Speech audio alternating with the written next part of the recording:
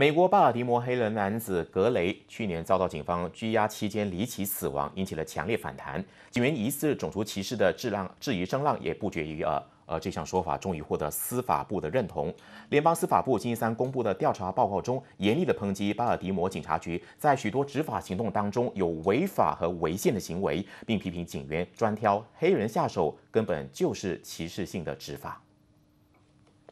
BPD engages in a pattern or practice of making unconstitutional stops, searches, and arrests, using enforcement strategies that produce severe and unjustified disparities in the rates of stops, searches, and arrests of African Americans, using excessive force, and retaliating against people engaging in constitutionally protected expression. I have no tolerance for any person who is privileged enough to wear this uniform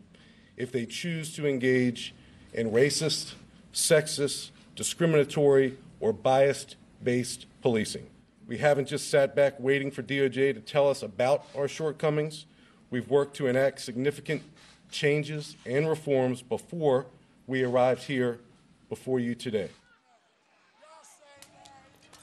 这份暴露各种警员弊端的报告，不止证实警员存在种族偏见，同时认为警方采取的零街头罪案措施，造成不少行人被拦截搜身。 但是当局没有考量到这种方法在打击罪案方面成效微乎其微，反而破坏了社区警民的关系。而当局也没有为警员提供充分的训练，以在执勤时记录现场的情况，甚至没有对付违规的警员，一切都凸显了这个部门的不达标。